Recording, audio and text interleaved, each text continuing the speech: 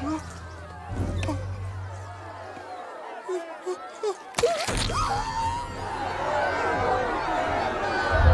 are very familiar with our own ways of life and the lives of others around us. Although in this vast world there are many different cultures and lifestyles, and some of them are completely unique. From a tribe that was recently munching on human flesh to the tribe that is able to plunge to depths of over 30 meters to hunt for fish, here are 15 people who live a strange life. Number 15 Vanuatu Tribe. It turns out that this tiny Pacific island nation has got some seriously wild stories to tell. Let's start with the juicy stuff cannibalism. That's right, folks. The people of Vanuatu were still munching on human flesh as recently as 1969. And get this apparently, the first British missionaries who arrived in 1839 were killed and eaten on the island now known as Erromango. In case your curiosity is striking, Vanuatu's customary recipe suggests that the standard cooking time for a human is 3 to 5 hours. But don't worry, they've since put down the carving knives and have turned to more conventional cooking methods, so no need to worry about becoming the main course at dinner time. But that's not even half of it. Over on Tanna Island, we've got a tribe that's got some serious Prince fever. These folks are straight up worshipping Prince Philip like he's the second coming of Jesus. We get it, he was a charming fellow and all, but come on. These guys believe he's a reincarnation of an ancient warrior who left the island to fight a war.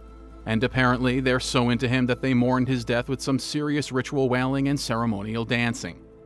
Hey, if it works for them, who are we to judge? And let's not forget about bungee jumping. Sure, the rest of the world might think they invented it, but the people of Vanuatu have been doing their own version of it for centuries. They build towering wooden platforms up to 30 meters high and attach vines to their ankles before taking the plunge. It's like the Olympics of adrenaline junkies, Vanuatu style. From unconventional cuisine to prince worship and even death defying leaps, Vanuatu might be small, but it's big on crazy stories. Number 14 Sama Bajau Tribe. AKA the Sea Gypsies. These people live life on the high seas, quite literally, and lead a life that's so out of the world you'll feel like you're living in an alternate universe. While most of us are content to live on land and occasionally take a dip in the ocean, the Bajau people spend their entire lives on their boats, wandering from one spot to another, braving the waves of the open sea in search of fish and other treasures of the sea. They're basically the Aquaman of real life. But don't be fooled by their itinerant lifestyle, because these sea gypsies are some of the best sailors in the world. They navigate the ferocious waves with ease, adapting to their maritime environment like true oceanic acrobats. And let's not forget about their unique diving skills. They can hold their breath longer than your average human and plunge to depths of over 30 meters to hunt for pelagic fish, pearls, and sea cucumbers, a delicacy among the tribe. And how did they get so good at diving, you ask? Well, they deliberately rupture their eardrums at an early age, bleed from their ears and nose, and spend a week lying down because of the dizziness, just so they can dive without pain. Talk about dedication to their craft. But here's the kicker the Bajau aren't recognized as citizens of any country. That's right, they're like a floating state of their own, navigating the waters and constantly searching for a place to call home. Even though they hail from the Sulu archipelago, which is technically part of the Philippines, the government doesn't acknowledge them as Filipino citizens. And it's not just the Philippines, Malaysia, Brunei, and Indonesia all refuse to recognize the Bajau. Talk about being lost at sea. And if you think that's crazy, wait till you hear about the folklore surrounding the Bajau tribe.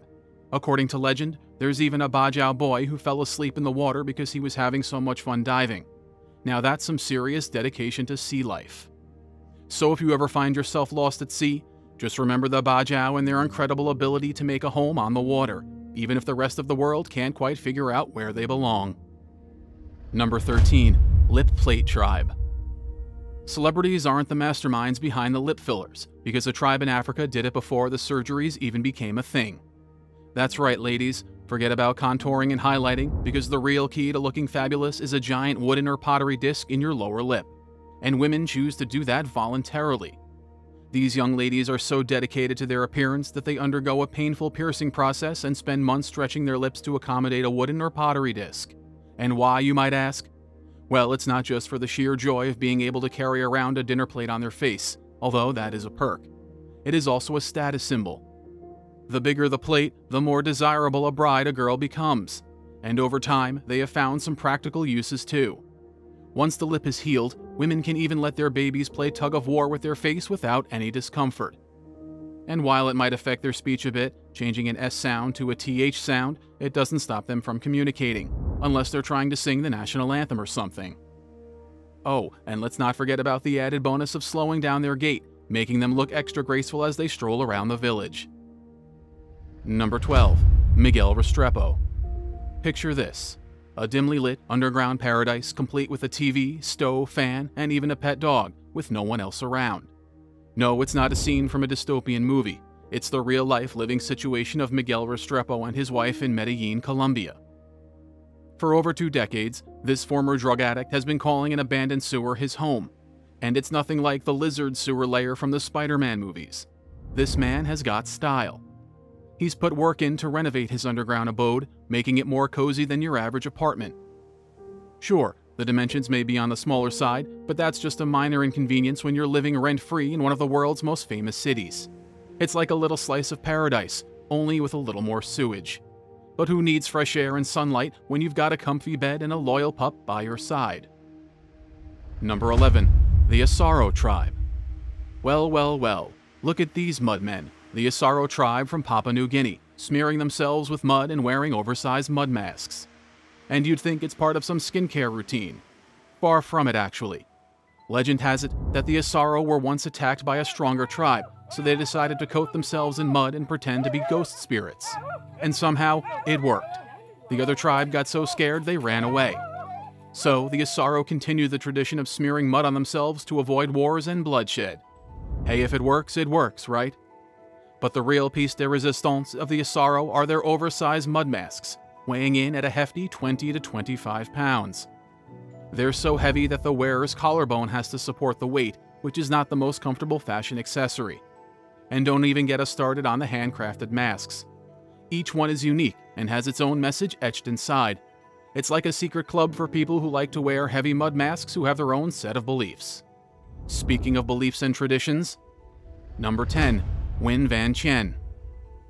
Move over Rapunzel, there's a new hair icon in town, and he's a 92 year old Vietnamese man named Nguyen Van Chien. But this isn't just any hair we're talking about. Chien has been growing his dreadlocks for nearly 80 years, reaching an insane 5 meters in length, and he hasn't cut it ever since. Impressive, right? Yeah, but he hasn't washed or combed them either. Still find it impressive? Nguyen could have been an excellent pick for any shampoo ad if it wasn't the hygiene issue surrounding an impressive feat. Although Chien did have to trim his hair when he was in school, he decided to quit after third grade and never looked back. According to him, he was called by divine power to grow his hair, and his unwashed locks are now a manifestation of this calling. And let's not forget the fact that Chien believes his hair is the key to his longevity. Forget about eating healthy or exercising regularly. Just don't cut or wash your hair, and you'll live to be 92 years old like Chien. His words, not ours. And you might save a lot of time as well. Chien follows a faith known as Dua, also known as the coconut religion, which is named after its founder who claimed he survives solely on coconuts to maintain his vitality.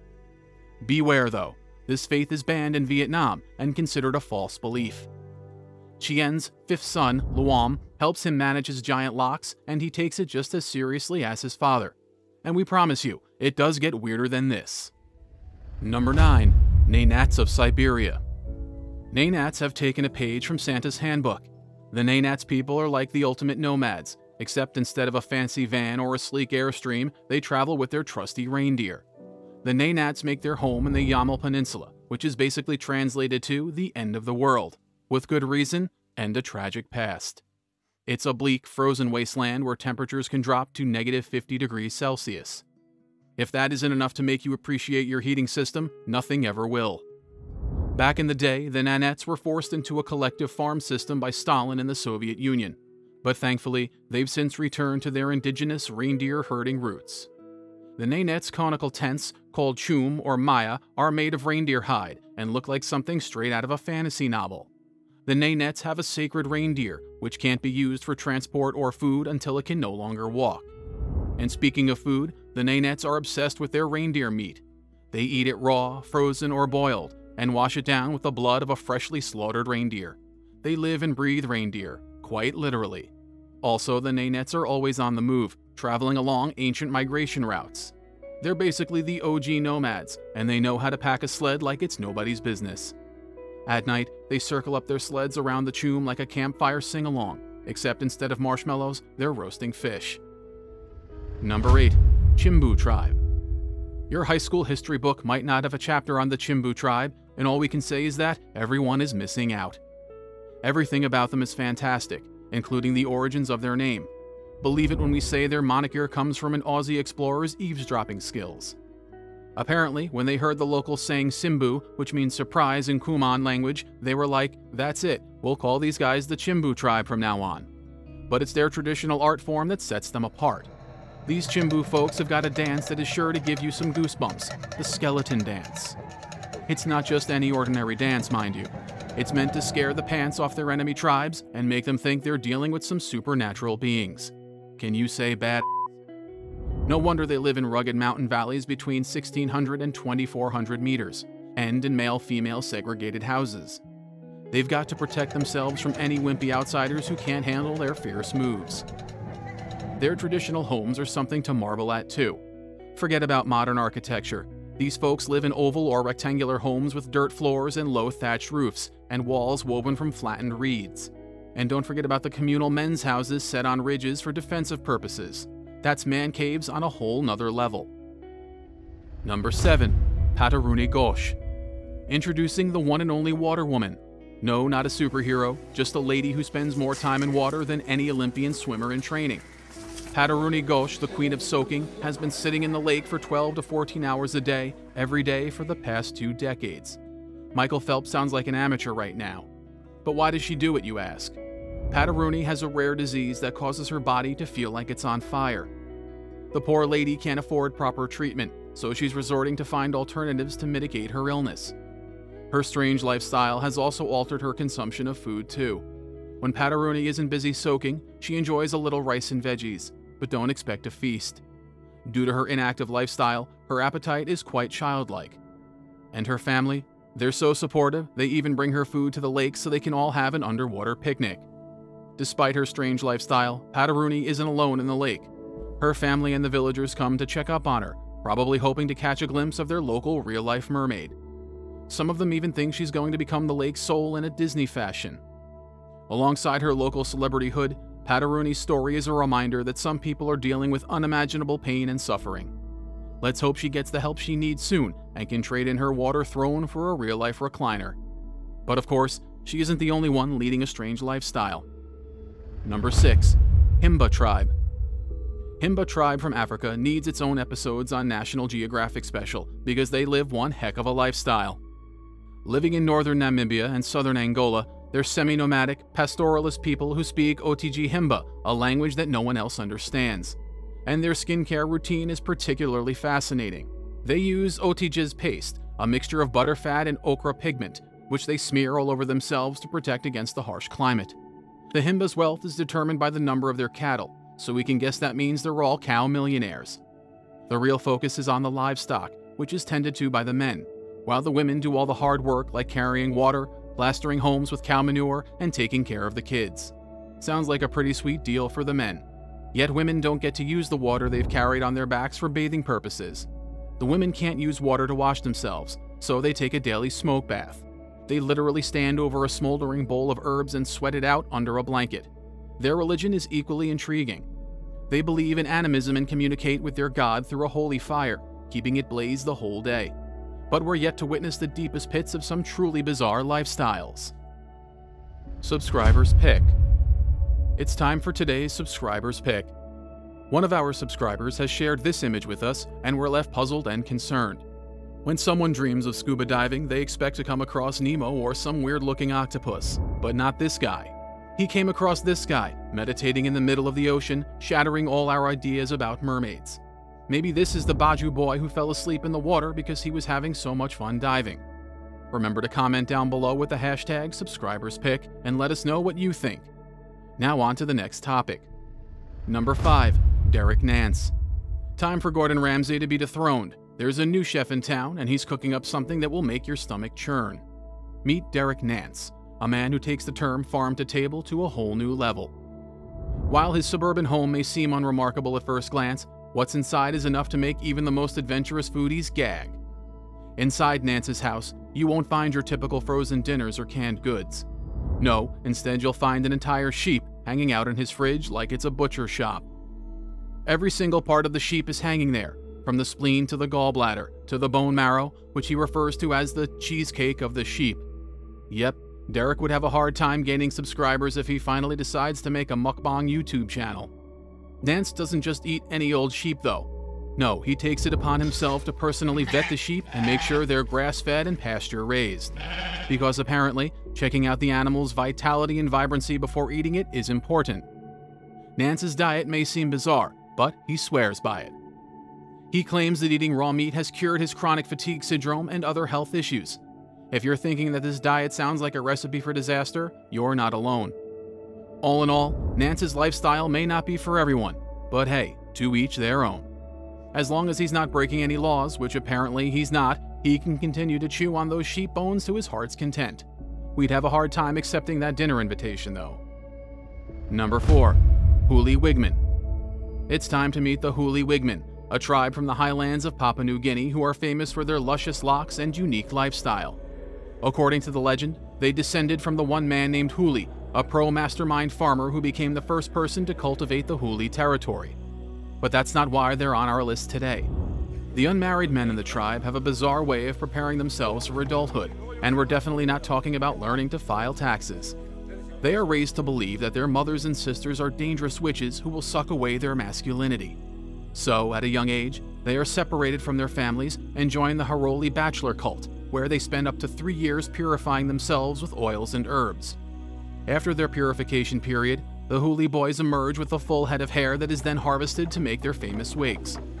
For everyday wear, the Huli wig men don a lighter colored wig and hardly any face paint. But when it's time to party, they break out the darker wigs and paint their faces yellow, red, and white. It's like a tribal version of the Met Gala, and the tribe shows up super camp. You know who's not showing up to the party super camp? The next person on our list. Number 3. Tom the Part-Time Dog. Meet Tom Peters, a man who's barking mad for puppies, so much so that he likes to dress up like one and even act like one. Tom enjoys living his life as a dog, complete with crawling on all fours, sleeping in a cage, and munching on dog biscuits. Tom and his fellow pup enthusiasts are the stars of a Channel 4 documentary called The Secret Life of Human Pups. You might find this the most weird thing on the internet, but Tom is quite devoted to his canine lifestyle. Yes, that's not the only lifestyle he's thriving through. You see, Tom might not be super relatable in many ways, but he's also an average Joe. Yep, he has a normal daytime job as a lighting and theater technician. And when the lights go out, that's when the wagging tail comes out. Tom isn't going through a midlife crisis either, just by the way. A part of him truly wants to live like a dog without any unnecessary judgment and hot takes on his lifestyle. In fact, by appearing in Channel 4's documentary, he aims to normalize the subculture of alternative identities. So, if you see Tom crawling around on all fours, don't worry. He's not lost, he's just living his best puppy life. Number 2. Kate Hashimoto. Let's talk about Kate Hashimoto, the thrift queen of New York City. She's living proof that with a little bit of creativity, you too can survive on a meager budget of just $200 per month. Who needs furniture stores when you can just scour the dumpsters and sidewalks for discarded items? And forget about buying a bed, just stack some old yoga mats together and call it a night. But that's not all. Before you jump to any conclusions, Kate is a certified personal accountant, so she's making some big bucks. She just refuses to waste her hard earned money on silly things like new clothes, toiletries, and even toilet paper. Nope, she's subscribed to all the freebie mailing lists and attends promotional events just to get her hands on some toothpaste and deodorant. And why bother with a washing machine or a laundromat when you can just wash your clothes in the bathtub while you shower? Save money and time. And when it comes to food, Kate has it all figured out.